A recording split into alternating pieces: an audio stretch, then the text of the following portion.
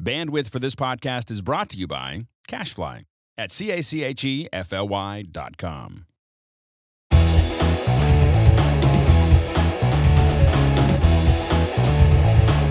Welcome back to MacBreak Studio.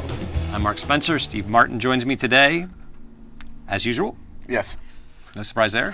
We're going to continue our discussion on yes. Final Cut. Final Cut Pro 10.0.6, which has a ton of new, um, basically workflow features, right? Things that allow you to get work done faster and easier. Yes, efficiently. Yes. And today we're going to be talking about Red Raw, Raw workflow. Red raw workflow. Right. So anything that was shot on a red camera, like a Scarlet or an Epic or something Yeah, I mean, a lot of. I mean, that pop, that camera is extremely popular and it's shot all over the world. It's, I mean, look at all the features shot with the Red camera now. You know, it's, I mean, just go to Red's website and see all of the films. It's amazing. So, this is not an incidental uh, thing they've added. It's, it's, it's huge. and what is it that they've added? Well, they've added the ability to bring in the raw data natively, or ingest Red Raw natively into Final Cut so that you can manipulate the data and you have the full access to all the 12 bits of data to be able to like color grade and you know bring out the detail and the blacks because almost like you're working with like raw pictures in a, in a Like images, like, shooting raw exactly. pictures. Okay. Wow. So uh, let's see how. Oh, so do you need anything special to be able to do this? Oh, this? you do need something special. You need a Red plugin. Okay. You need to download. How much is now? How much is that going to cost me? It's uh, only forty nine ninety nine. No, just kidding. it's free. It's free. It's free. Yeah, Red's Red's. I'm getting Red dot com. Free Download plugin, plugin. and you're going to be able to ingest Red. So now let's let's do that. I'm going to hit Command I, bring up the unified import window. Yes, which we talked about uh, In the previous last lesson. week. If you missed that, you might want to check that out. Yeah. Now we're going to look at uh, importing it. Now normally with Red, it's shot on a uh, solid state drive and it's cloned and then handed to you or what have you. Either way, the, the data structures need to be maintained so that you can then get into them and then import the individual RDC clips or Okay. Red digital clips. Okay. Now, just so happens I have a Red folder uh, clips right there on the desktop. And this is new. I didn't mention this in the last lesson. You have a favorite section that you can actually store favorite import targets. Here I have just two, desktop and of course you. But I can actually store frequently used folders, like maybe I'm working on a network, and I have all my sound effects, or I'm on a server on a, on a, on a storage area network. I'm, you can have all of this content in one folder, is only one click away. So how do you put something into there? Oh, I, I don't know. No, no. It's actually, it's actually, it's actually um, pretty simple. Like I'm going to take that red folder, Yeah. and I'm going to drop it right on the favorites word. Right under the word Boom. favorites. there done. it is. Okay. There it is. All right. So now every time I want access to that target, I select it, and it appears in the browser Great, list. great. So hmm. that could be, I could, like you say, on an XSAN, that could be where everybody's dropping clips and you're bringing mm-hmm. what you want to use. Mm-hmm. Okay. Now, what I'm going to do is I'm going to, you can see here from the browse list that I have my red digital clip folders and then the R3Ds, which is essentially that's your raw data right there. And this is huge. Look at this frame size, 5120 by 2700. That's a 5K image, and there's Okay. a 2K. And uh, here's the best part: I'm playing. I'm playing these red clips. I'm about to play them off of my Mac, uh, Mark's shiny new Retina Mac. You want it to be yours. You almost said mine. so awesome. this thing is great. So this is like 5K image. Now this was Well, this that's was- 2K, this This one. this one's 2K. I'll play this first because it's overcrank. But I'm gonna I'm playing this without any additional hardware. All right, so this is a red raw 2K clip that you're playing on a laptop. That's right on a laptop. That's, that's pretty neat. That was surprising. Now here's one. Here's a, now here's a 5K image playing off the laptop. So Wow. really exciting that that pen there, but you can see it's playing. Now here's the thing.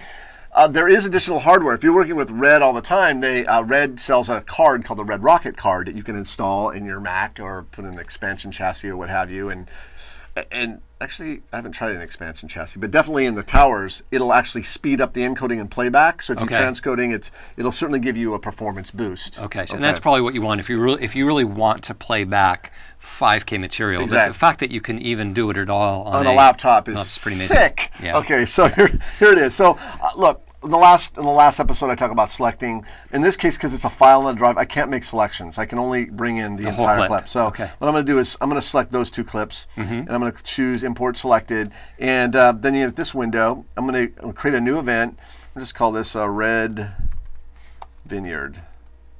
All right, whatever you can name it, whatever you want. But I want to talk a little bit about uh, transcoding for a moment. Okay. Uh, you can bring it in raw and work with it raw, but in some cases, if you don't plan on doing any manipulation, because it's that's someone else is going to do that in another application, Yeah. you might want to create optimized media or proxy. Uh, Optimize is going to create what's called ProRes 4444. And by the way, a big dialog came up when I checked that. And and, and essentially what a dialogue says is this. Um, if you do transcode, you're not going to be able to make changes because it, because what Final Cut wants to do is bake your, your image changes into the transcoded file. Okay. So if you- it just it's kind of just like kind of warning you of that that you're going to have to regenerate the optimized media if you decide to make changes. So if, if you do think you want to make changes to the raw media, you might want to skip transcoding for now. Exactly. so I would say Um, okay. you might want to. In fact, we're going to do that now, though, so we can actually show the. And when you, if you do choose to transcode for the optimized media, it's still going to be 5K, right? It's still going to be this huge Still going file. to. It's going to be exactly the same resolution that's reported in the in the metadata column. It's but it'll be, be that. ProRes 422. ProRes. Oh no, ProRes four four four four. Oh, it does 4x4. It does Okay. to, to give maximum fidelity to, Okay. the, to the picture. So Okay. all other instances is four by four, as you say, four by 422. four to two. But in this instance, it's four by four. Ah, okay. So um, okay, so let's go ahead and just go ahead and bring this in. It's I'm just gonna we already. Oh yeah, import. There's a little import button, and uh, oh, then I'll go ahead and close the window. And there, there's Eclipse. It's they're, ready there. to be there, there. It is, ready to be worked with. Since we just imported references basically to, Yeah, we we didn't, didn't copy copy, the media. Right. These are big, big files. So I'm going to select that. Now I want to start working with the, the image. I'm going to monkey with the image a little bit. I'm going to hit Command 4 to open the inspector. And uh, I'm going to go to the Info button. And you'll see a new button down here called Modify Red Raw Settings. And oh, by the way, while we're here, I should also point out that we're only working with original media. Notice Optimize and Proxy media hasn't been generated. Right, because we decided not to do that. So Exactly. that's what the little red triangles mean. It, it doesn't exist. Right. So what we're going to do is we're going to work with these settings here. And this is kind of like the settings that the camera operator used. It, it should show you kind of how it was set, and then you. It's kind of like adjusting the camera after the fact. Yes, it gives you uh, essentially allows it gives you all the tools of, of manipulating exposures. You can see color space. Rec 709 is like a HD color space. You can play uh, set up different uh, logs. You could uh, change the exposure, Change the um, ISO. ISO, the Kelvin, the tint. Uh, you can you know crush the shadows. I'm going to crush the shadows a little bit. Um, let me boost the saturation. I can play with the contrast. I mean, you, look, look, look what you can really pull out detail. You can, you can essentially create looks. Yep. Because all you're Yep. really doing is manipulating um, the, the the metadata for the file, and and it's really um, So it's non-destructive. it's what not completely non-destructive. And you can always revert back to original settings by clicking this little pop-up here. or even neutral values, which kind of goes not to what they set the camera to, but so the default camera settings. Exactly.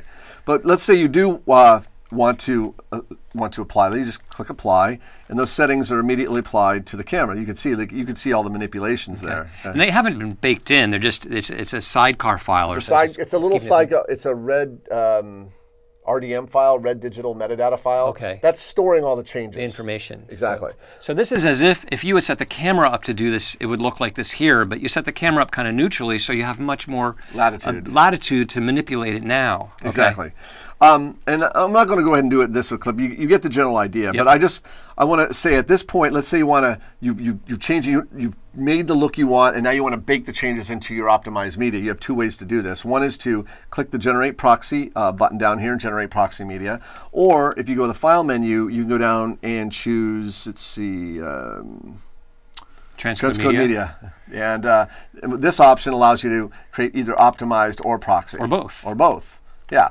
And then this is where the red rocket card could really come in, is that, um, as you can see here, it's transcoding this file, and, it's, and, it, and it could and it could take some time to do that, depending on how fast your Mac is. Right, and it says a huge 5K file. huge It's- file. If you're doing a ton of, what if you're doing 100 shots? Right, It's, right. This can be really uh, kind of a laborious, long uh, process. So this is where the additional hardware can really come in. And even if you were doing proxy, which is quarter resolution, right? Right, A quarter quarter, resolution of, of 5K is still like a 2K file. It's still much bigger than full HD. It's still it's still big. big file. But um, if you wanted to actually edit and playback, you can do that. Now you can still do the traditional workflow through Red CineX and, and doing that stuff. if You've got a lot of clips you want to process. But this lets you check out a shot like on set. Right on set, just- or, right in the edit bay. The director says, "Can I see a little bit more? Can I see? Can you bring up the shadows or bring down the shadows?" You can do it right now in Final Cut Yeah, Pro. you get to know what exactly what you can do with the file. By the way, look at Mark. Mark with his uh, little. Uh, you can see that all co- all his cores are working on this. yeah, I like to keep an eye on them. Well, oh, these guys are slacking off a little bit, though. I see. Yeah, they're- they, are they're slacking. working pretty They're hard. slackers Yeah. there. Okay. um, one last thing about Red Workflow is that it's automatically scales to the project you're working in. So the- here's a 1080 project down here.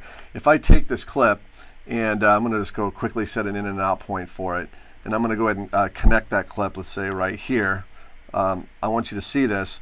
It automatically kind of scales it. A 5K image, it's going to scale it to the working resolution. So this is a, another really huge fe feature. If I go into the video and go down to spatial conform, it's set for fit, I can do fill, or, and better yet, this is what's cool, I can do none, which gives me the, a full range. So now you really get a sense of how huge this file is because you are in a 1920 by 1080 project. Right. And now it's blown this 5K image up to the 100% size. Yes. And Uh, no, it, no, it says 90% size. Well, right now it's I'm, I'm there's I'm the beauty of this is now I have the full raster, the full 5K Yes. image. I can move around and focus. I can reframe. I can. Uh, and look at the. I mean, look at that. I mean, the in, in, a, in, a, fantastic. in an HD set in an HD frame, look at that detail. That's only like a you're only seeing a part of the image right, Right, there. right. So tremendous, tremendous workflow enhancement in Final Awesome. Cut Pro 10. Great, Steve. Thank you. I think anybody who works with Red or is considering Red can see the benefit of being able to work with it directly in, in Final Cut Pro 10. Um, if you want to know more about how to do this and other features of Final Cut Pro 10.0.6, rippletraining.com. You have a training specifically on the new features, On 10 red, yeah, we have a chapter on red 10.0.6 um, in depth. in depth. And then if you're learning Final Cut Pro 10 for the first time, you might want to look at the Apple Pro Video Series, Apple Pro Video Series, also on rippletraining.com. We're a little tired and punchy. Yes. Um, anyway, thank you, Steve, and thank you for watching MacBreak Studio.